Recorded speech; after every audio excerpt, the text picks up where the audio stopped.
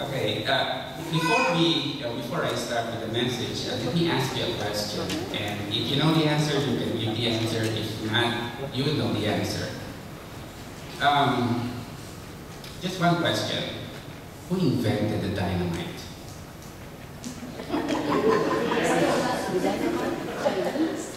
Okay. One, two, three. Okay, let me tell you who invented the dynamite. Alfred Nobel. And he says Swedish, and if you pronounce it correctly, Alfred Nobel, that's how his name was pronounced.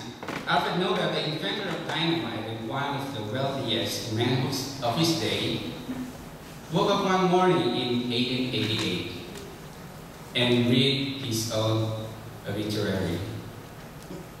The obituary was printed by mistake.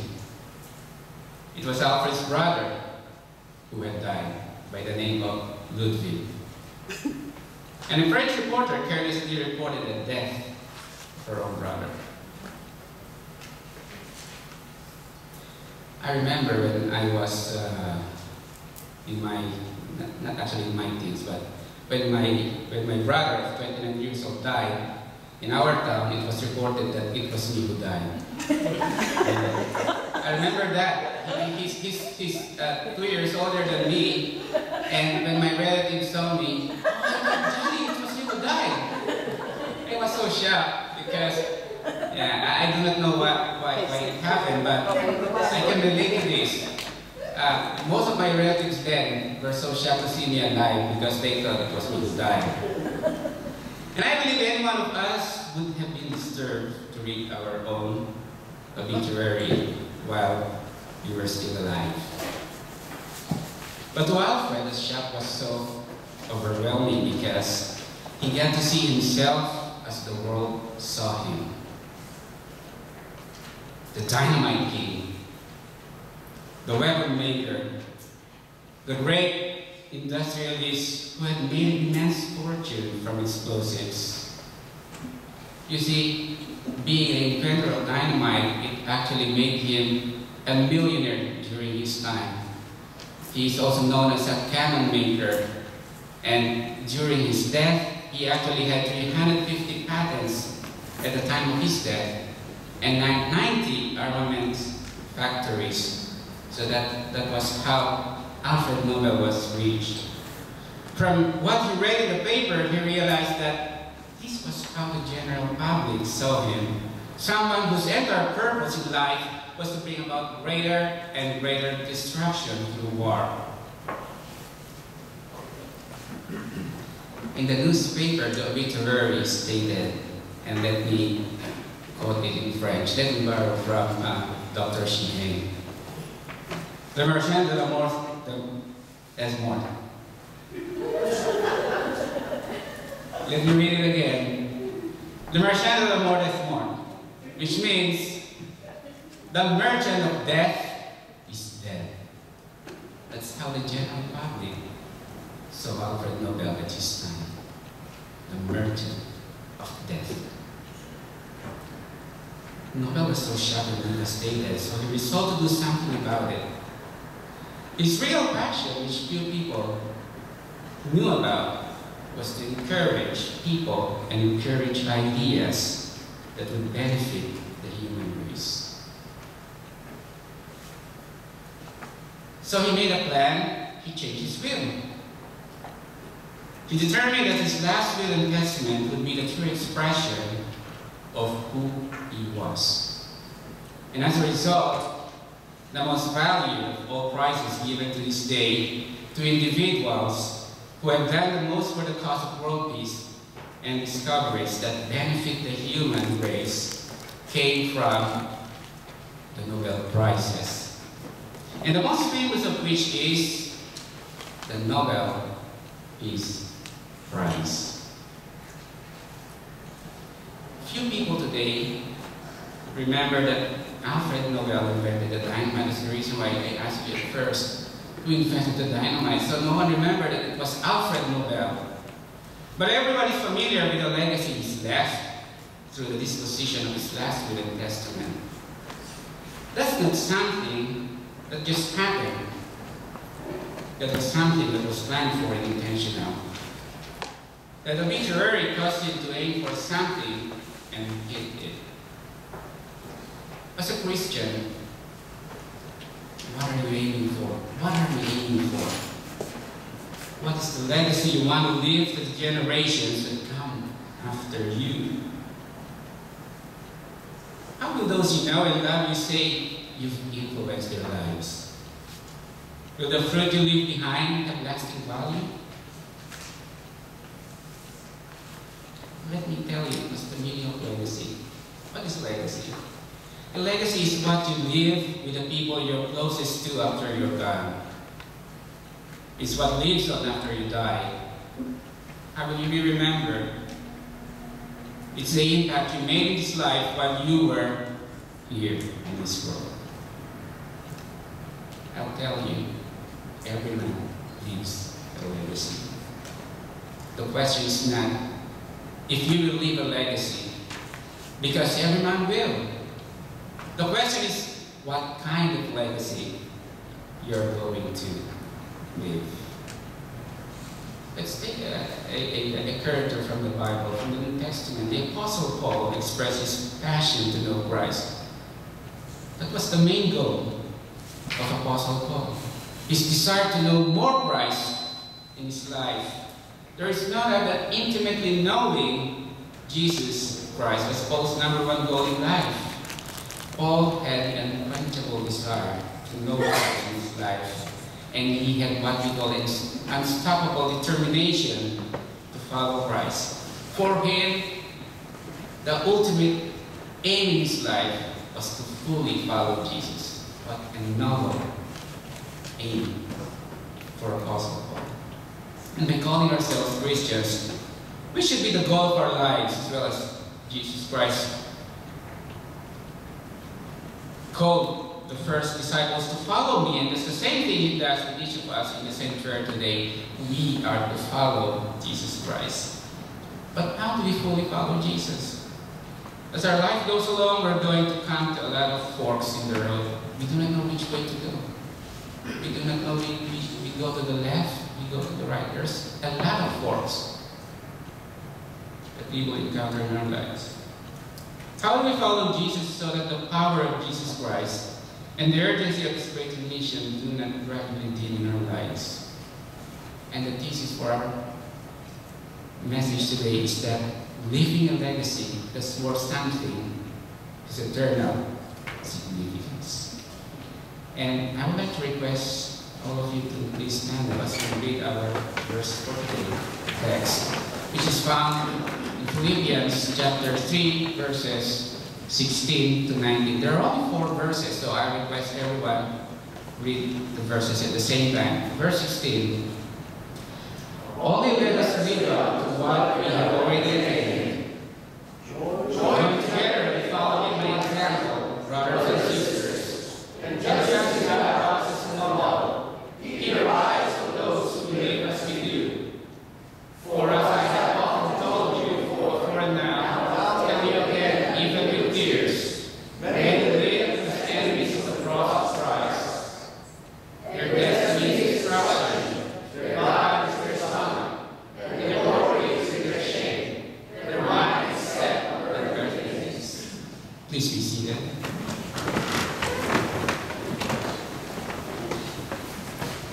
In verses 16 to 19, Paul gave us some very practical and very important pointers for fully following Jesus.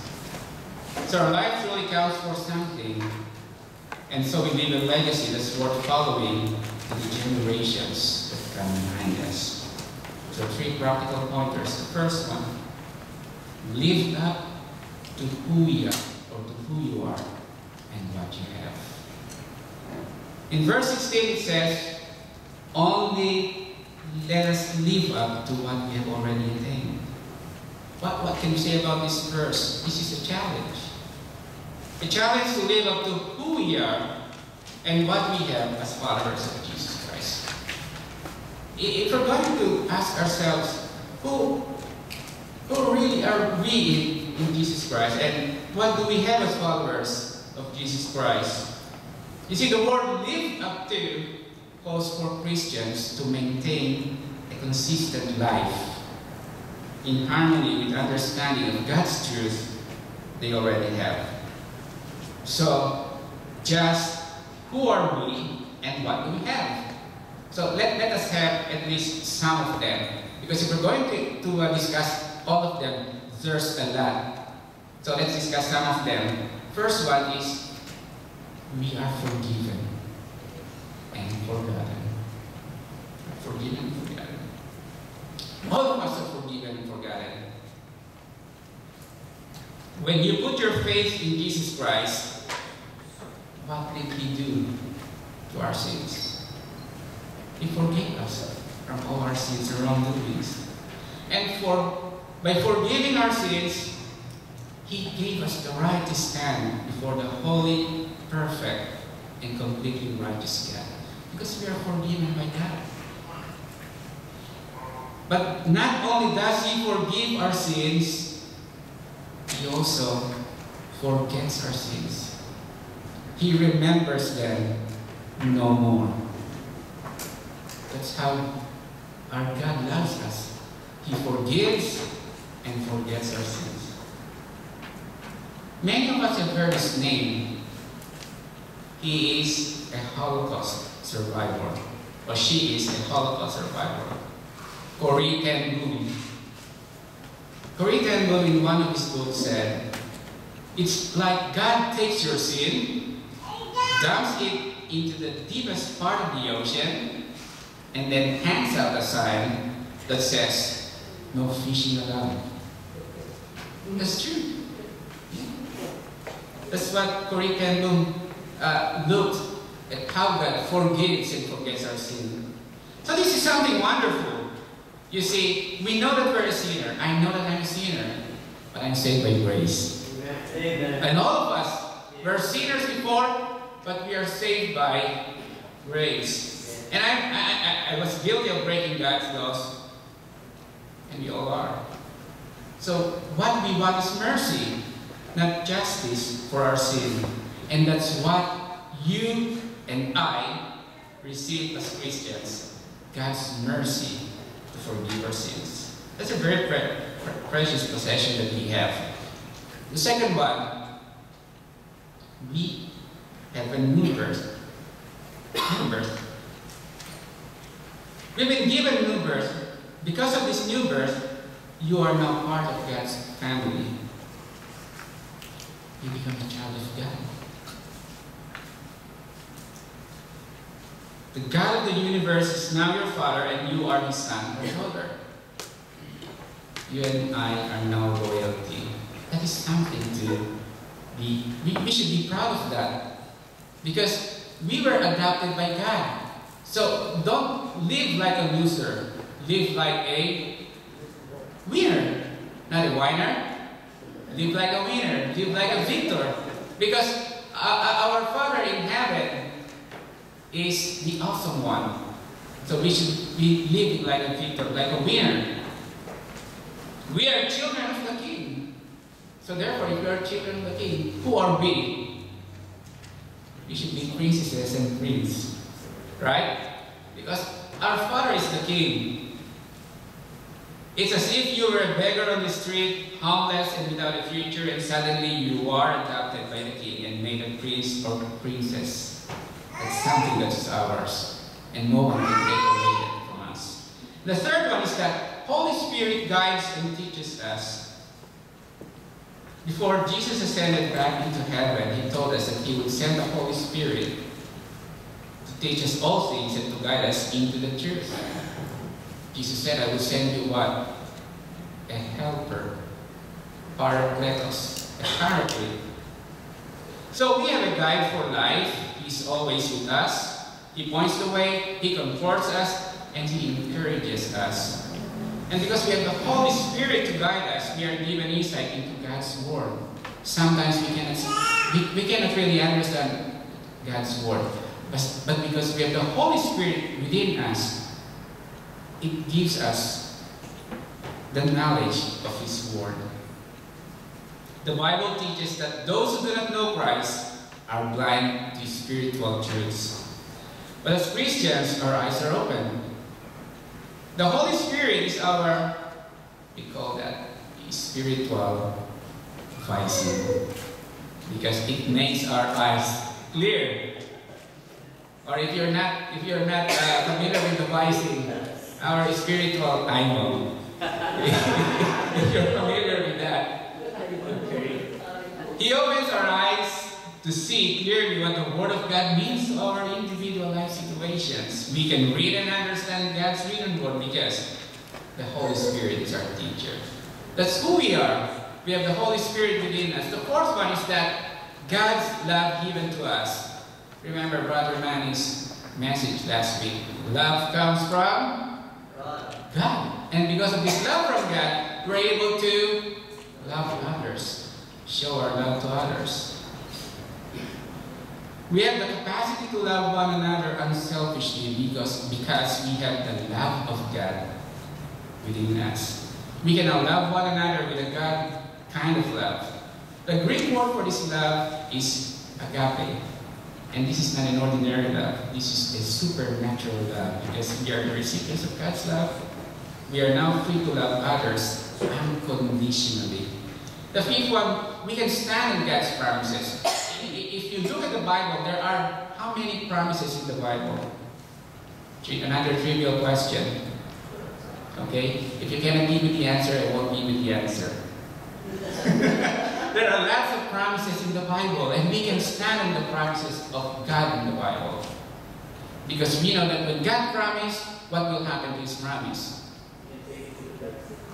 Yeah, it will happen. It's true. We can live by those promises. And we can base our lives in those promises. Number six, or letter F, Jesus is our advocate. What's the meaning of advocate? In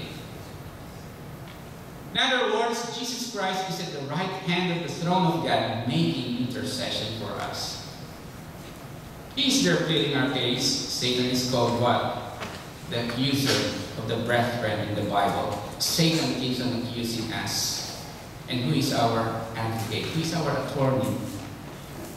Who is our abogado? Jesus. Okay. He's a defense attorney for Christians. When Satan accuses us before God, Jesus excuses us based on the fact that he has already paid for our sins with the price of his blood, our divine attorney who is the Son of Judge. Remember? Our God is the Judge, God the Father. And He's our attorney, the Son of the Judge. That's Jesus. That's something that's ours. And letter uh, G, we have spiritual weapons found in Ephesians chapter 6, verse 11. Put on the full armor of God. And we need these weapons to defeat our enemy and accuser, Satan. The Bible teaches that we have been given everything we need for life and godliness. In the book of Ephesians, Paul tells us that we've been given a spiritual armor to withstand demonic attacks. We have been given the weapons to defeat the enemy. And, and, and for the last, we have a home in heaven. Are you glad about that? That uh, we have a temporary home in this place which we call earth, but we have an eternal home in heaven. For Jesus said, In my Father's house are many, some translated mansions, some translated rooms. Our eternal destiny is certain. Our future is secure. One day we will see Jesus and we will be with Him forever heaven will be a place of eternal joy. There will be no suffering, there will be no sorrow, there will be no sickness or death, no pain or regrets. And what a wonderful hope we have. Brothers and sisters, when Paul says that we should live up to what we have already attained, we need to understand that we have attained a tremendous amount through Christ Jesus. We have a lot already through Christ Jesus. We need to understand just who we are in Christ and what we have in Christ.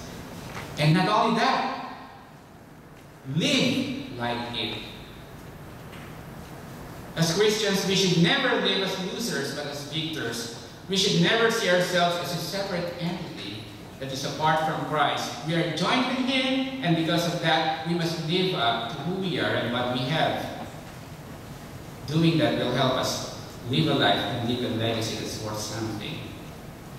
And the second point is found in the next verse, verse 17. Follow those who follow Christ. Verse 17, Apostle Paul said, Join with others in following my example, brothers, and take note of those who live according to the pattern we gave you. Now, Paul set himself as an example for all the groups and individuals helped and worked with to follow. He said the, the thing in the church in Corinth, in, in 1 Corinthians chapter 1, verse 11, or 11, verse 1, he says, Follow my example as I follow Christ. Now, let, let me, let me explain this further, verse 17. In verse 17, in the early years of the church, believers needed practical guides for conduct. So Paul urged the Philippians to join him together in imitating his conduct. Now, you, you, you might be asking, do you think Paul really had, had the authority or the K to, to tell that to, to other believers that follow me as I follow Christ or imitate me as I imitate Christ? Because we know that Paul was, wasn't perfect and he never claimed to be perfect. But he was someone who was giving his all to follow Christ. He worked hard at setting an example. Furthermore, Paul here includes others in this model by urging his readers to take note of those who were living in conformity, conformity with the pattern we gave you. So Paul was actually not very egotistical when he said, follow me as I follow Christ. Because he said, the pattern we gave you. So that means Paul includes not only himself, but probably Timothy, who is much younger than Paul, and perhaps Epaphroditus. So therefore, he was not claiming a unique superiority. You and I need to look to others who are sincerely following Jesus Christ and imitate their lives so that our enthusiasm in serving the Lord will not diminish. If you were in the Bible study last Friday, it talks about enthusiasm. It talks about enthusiasm. And sometimes we are so enthusiastic in our service to the Lord, but there were times that we are not as enthusiastic in our service to the Lord. That was a very good um, um, Bible study last Friday, and you missed that for those who were not able to, to, to attend. Well, we can see in our church who to follow as an example. For example, if you're a younger, a younger and not an elder, you need to seek out someone in this church who is a couple of steps ahead of you in the faith and learn from them. The question is, how do we follow others? One, letter A, you follow others by intentionally spending time with someone you respect. If you have someone in this church, or if you have someone who is a Christian that you want to, to you respect a lot, spend some time with them. Because the more you spend time with someone you respect, the more you will imitate his ways. Yes or no? Yes. Because you respect the person, you want to be the person a lot of times, you, will not, um, for, you will not notice that you are imitating his ways already because of your high respect on that person. Second, looking for opportunities, opportunities to talk with someone who has more experience in the faith than you do. Why? Because you will learn from them. And there see, asking questions of persons you respect about following God. And then follow their example.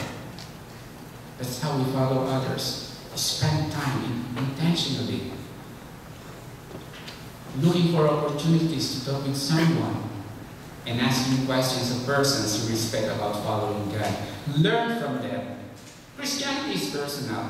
That's true. You cannot be just because, oh, my parents are Christian, so therefore, I'm also a Christian. I'm Christian by birth. Are you sure? But it's not private. Take note of that. It's personal, but it's not private. Every individual must have a personal commitment to follow Christ. No one can decide it to you or for you. But after the decision is made, we can go it alone. Every one of us needs help. And that's why God created the church.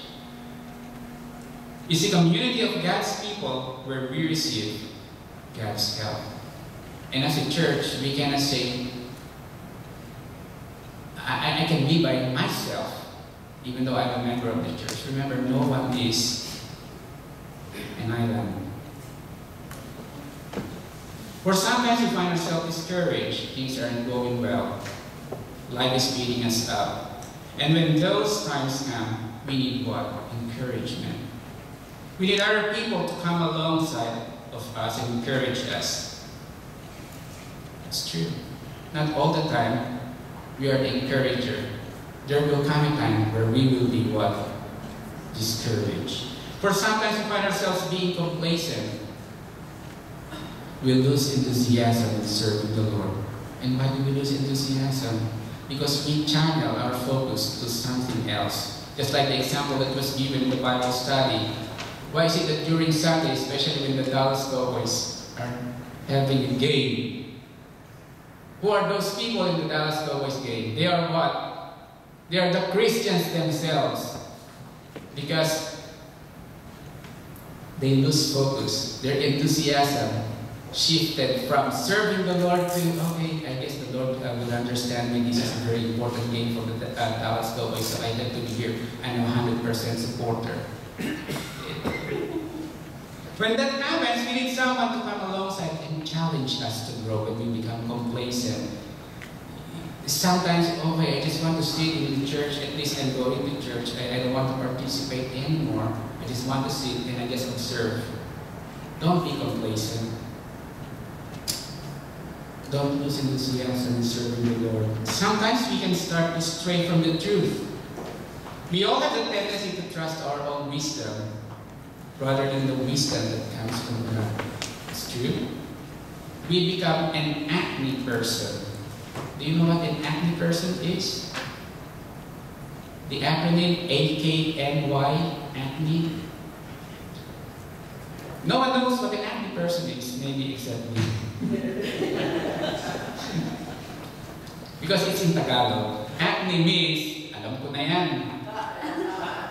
Don't be like that. That whenever you, you hear something from your brothers or sisters, oh, alam ko na yan. Because person. Because you, you have so much with you that you don't listen anymore. Alam ko na yan. Acne. It seems you know a lot, almost everything, and at times like it, or like this, we need people who care about us and our spiritual future to give a warning to us. Otherwise, we will continue down the path. And sometimes we'll rebel and willfully do something that is directly against what our Lord Jesus told us to do. And at times like that, we need a strong rebuke. We all need that. You may not realize it, but sometimes the most loving thing a person can do for us is to get tough with us. If your spouse needs a strong rebuke, give them rebuke. If your children needs a strong rebuke, give that strong rebuke. Or if your friend needs that strong rebuke, give that because it will save them from a lot of. That's true. That's the most loving thing sometimes that we can give to others. The bottom line is that we all need help, and God has given us that help through others. We should listen to them, we should follow them, we should honor them. We need to follow those who follow Christ, and all of us should strive to be someone worthy of following. And the last one is the third point is recognize your enemies, found in verses 18 and 19. For as I have often told you before, and now say again, even with tears, many live as enemies of cross of Christ. Their destiny is destruction, their God is their stomach, and their glory is in their shame. Their mind is on earthly things. The third practical pointer is this recognize your enemies. Let us understand this, brothers and sisters. As you seek to intentionally make your life count for the future, there will be those who will oppose you, whether in your workplace, whether your relatives.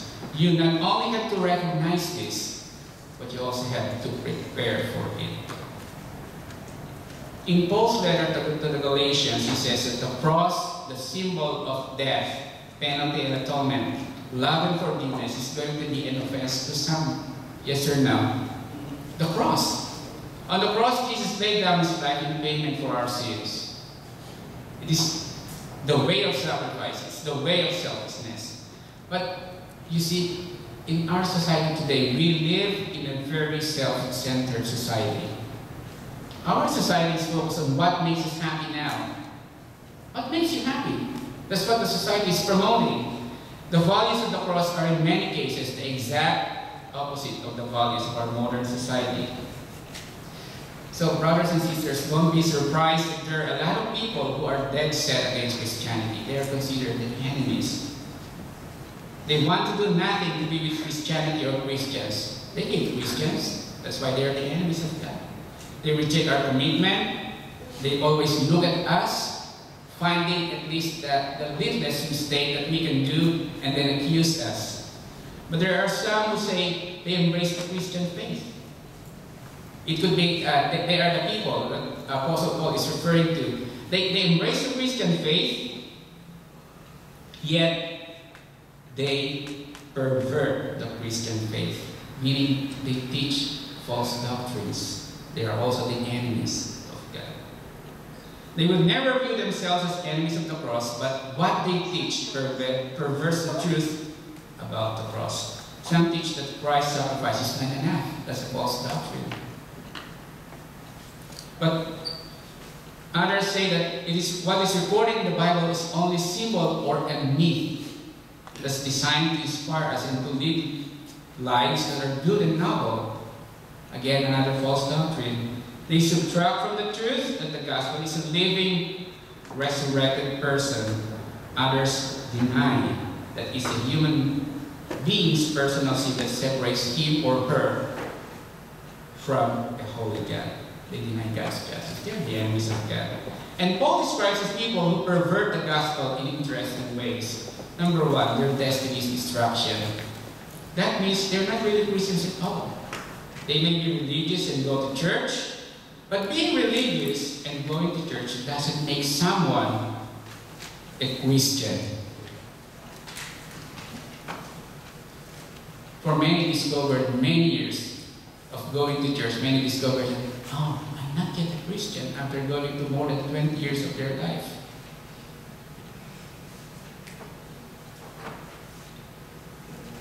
It's just like when you're driving a car, does it make you a mechanic because you're driving a car? No.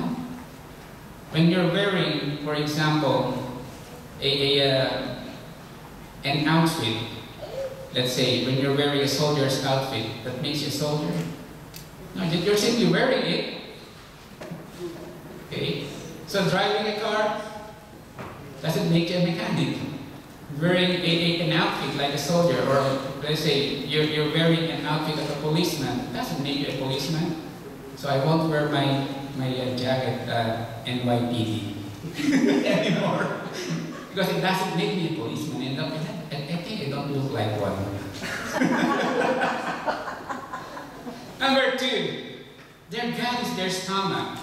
The Greek word that's translated stomach is talking about the middle of a person. From the upper thigh to the chest area.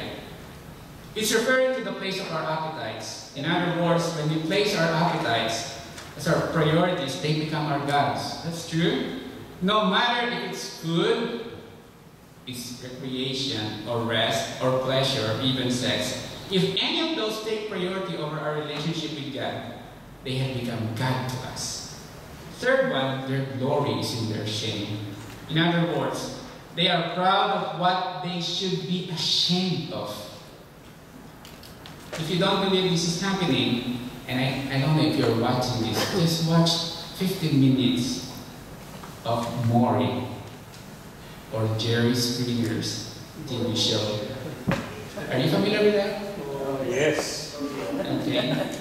People literally boast about lifestyles that are perverted and hedonistic. I was able to watch some of those episodes and uh, it was really shocking. Because those things are supposed, usually supposed to be ashamed of, but they are not ashamed and they are even proud of their accomplishments in life. Their glory is their shame. This is the direction our society is traveling. And their mind is on earthly things. And this is the bottom line for them. They are not interested in eternity. They are living for today. They are living by the philosophy that you only go around once and you have to, you have to grab for all the goods that you can get. For there's a philosophy that eat, drink, and be merry, for tomorrow you will die. In the winter of 1984, Billy Graham spoke to thousands of students and Christian leaders who had gathered at the Urbana Missionary Conference on the campus of the University of Illinois. His words from that conference have caused a lot of his listeners to examine their lives. And there is a powerful spiritual challenge in these words. What will you be like as Christian 10 years from now? Many will be with Christ and serving Him in various capacities around the world. But for others, there will be a tragedy because 10 years from now, they will have lost their burning zeal and love for Christ. Not necessarily because they wanted to or because they had set their heart in rebellion against God's will, but because they have set their life by going or by the world's agenda. They set their life by the world's agenda. That agenda causes the power of Christ and the urgency of the Great Commission to gradually dim the influence of Billy Graham when he talk about the world's agenda are the people Apostle Paul is talking about. Anyone who is not totally committed to following Jesus Christ is two things to a Christian. Paul says that one of the things they are is they're an enemy, and we, we must be on our guard against any philosophy or any belief or any wisdom that doesn't center on Jesus, the cross, and the commitment to the words of the Bible. But not only are those who are not totally committed to following Jesus Christ the enemies, if they're, if they're the enemies, aside from looking at them as the enemies, there should be looked upon as our mission field. Don't just consider these as enemies. Consider them as our mission field. What do we do with the enemy? Shoot them? Kill them? No, as a Christian. If, if we know they're the enemies, we should evangelize them. That's our mission field. Christians have been left on earth to tell people who are not Christians about Jesus. If we're not intentionally doing something that is designed to be a link in the chain of events, that will bring another person to faith in Christ, we're just taking up space, not leaving a legacy. To conclude, Paul says, leaving a legacy isn't anything close to rocket science. Or is it something reserved for the professionals in the church? In fact, you don't have to be rich like Alfred Nobel. You don't have to be perfect like Jesus to leave a legacy. You don't have to be smart like Apostle Paul to leave a legacy. You just have to follow three things. First, remember who we are in Christ. Remember what we have in Christ and live up to that. Refuse to live like you are nothing and have nothing. Hold your head up high because we are a child of God. Second, follow those who follow Christ. Determine that you're going to be like them. Because become someone who encourages others and leads them to be more like Jesus. And third, recognize your enemies. Don't be discouraged by them. Even if they're going against you, don't be taken by them. Don't be shaken by them. Just understand them for who they are. People who need the Lord.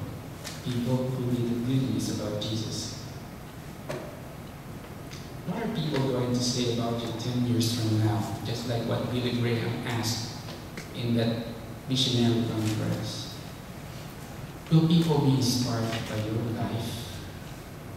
Or will your life have meant nothing because you took your eyes off of Jesus and placed them in worldly things?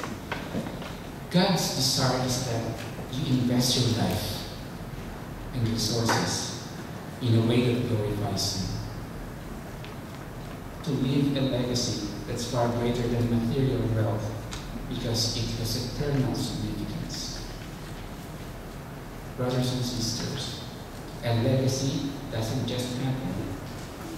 It's something that is planned for and it's something that is